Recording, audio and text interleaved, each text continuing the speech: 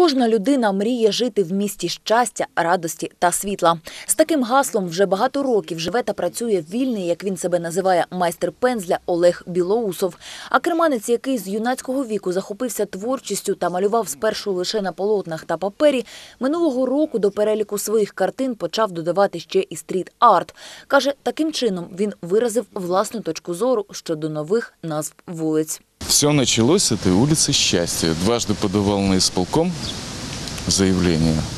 Они отвергли не только от меня обращение, но еще тысячу подписей я собрал. Вот. И потом в знак протеста я просто пошел и сам переименовал улицу Счастья, Радости и Света. Вот так. Та на цьому художник не зупинився. Щоденно прогулюючись вулицею Незалежності, Олег вирішив прикрасити одну зі стін технічного приміщення першої школи. Намалювати вирішив казкового птаха Фенікса. Там трансформаторная будка на углу. Я Просто белой краской нарисовал птичку. Пришла директор школы. Что вы здесь рисуете? Зачем вы тут рисуете? Ну, в принципе, возражений не было. Потом уже заканчивал, подошла учительница и говорит, у нас завтра у директора день рождения, поставьте дату. Ну, я поставил. Поздравил директора с днем рождения. Там еще юбилей, 70 лет. Згодом на вулицях міста з'явились інші інсталяції художника. Намалював майстер і крила на одній з щойно встановлених зупинок. Та, на жаль, довго ні скло павільйону, ні малюнок не встояли перед руками вандалів. А ось біля четвертої школи Олег зобразив зім'яту 100-доларову купюру. Як каже автор, цим він хотів донести людям, що відомий вислів та стереотип про те, що гроші володіють світом, потрібно зламати.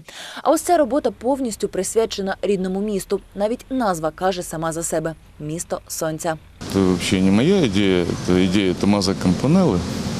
А «Город солнца» – это юбилейная работа на 2500. Я хотел сделать плакат такой. Там пособирал башни крепости, что остались, а сверху все соборы. Такая композиция. Ну вот я ее в традиционной технике сделал, она скучно смотрится сейчас. И я добавил этих штрихов. Вот э, сначала я сделал картину маслом дома.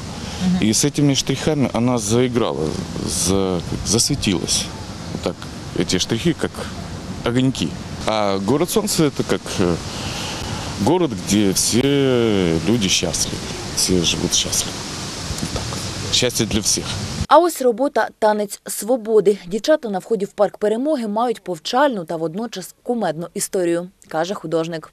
На 9 мая я решил поздравить ветеранов с праздником. Вот. Меня забрали в милицию, позвонили, и что он там рисует, и приехал Бобик, и меня забрали. Что ты там рисуешь? Ну, я объяснил все по-человечески, там поняли, нормально, в принципе. Даже не хотели меня арестовывать, отпустили. Вот, а потом добавил этих блестяшек. Ну так весело смотрится. В общем, я объяснил так, что э, ветераны воевали ради того, чтобы девушки могли танцевать. Як каже майстер, на цьому він зупинятись не збирається. В планах автора зобразити якийсь шедевр на одній зі стін парку перемоги. Бо кожен мешканець величного Білгород-Дністровського заслуговує жити в красивому, кольоровому та прикрашеному місті. Як каже вільний художник Олег Білоусов, він щасливий. І його ціль поділитися цим почуттям з кожним. Наталія Мальцева, Андрій Романовський, Бесаребія ТВ.